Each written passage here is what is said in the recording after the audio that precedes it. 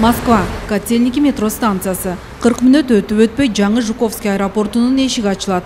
Мында кыргызстандык Руслан Сулайманов биринчилерден болуп, жаңы терминалды өздөштүрүүдө.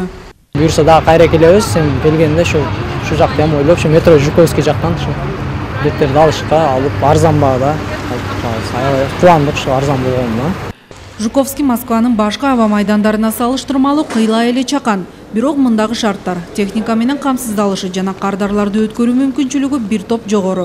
Ошондой эле ошко учкан жүргүнчүлөр үчүн аэропортко чейин жана андан ары шаарга жетүү үчүн да бекер жүргүнчү ташуучу унаа уюштурулган. Жуковский уверенно набирает обороты. жуковский аэропорту ишенимдүү эл оозуна алынып жатат. Бул биздин башталгыч кадамдарыбыз гана. анан албетте алгачкы рейсибиз мурунку совет өлкөлөрүнө ачылып жатканы биз үчүн сыймык точки зрения инфраструктуры, логистики, инфраструктуралык жактан аба майдан абдан ыңгайлуу жайгашкан эң эле кубантканы саякатчылар үчүн жакшы шарттар эске алыныптыр. Биринчи жолу тилтабыз биз деле ушу ачылды дегенигечи ошо метрого келип автобус бар экен ошо автобустар менен келип М, бекер автобус экен да ошо төрт жүз кырк бир деген ошо билеттер арзан Жаңы аба майдандан Кыргызстандын Ордолу Ош чергесине биринчилерден болуп, Урал авиалиниясы туруктуу рейсин ачты. Ош чергеси бир катар коңшулаш өлкөлөр менен чектеш тургандыктан авиакомпания үчүн өзгөчө мааниге экенин башкы директор билдирет.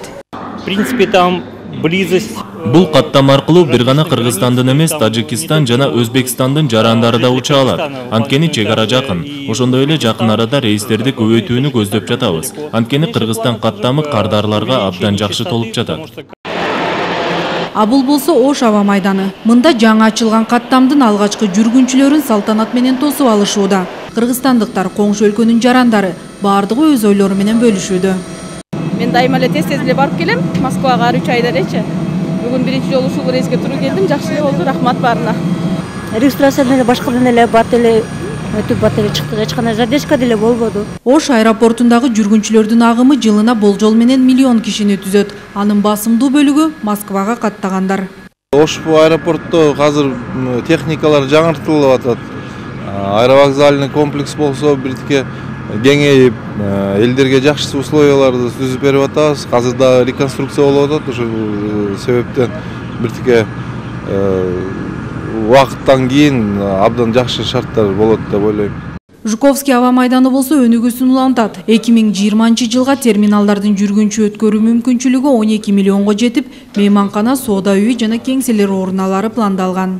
Нуркыз Абдрахманова, Наргиза Жоробекова, Жылдыз Болотбеков, Акжол Айбашев, Коомдук биринчи канал, Москва.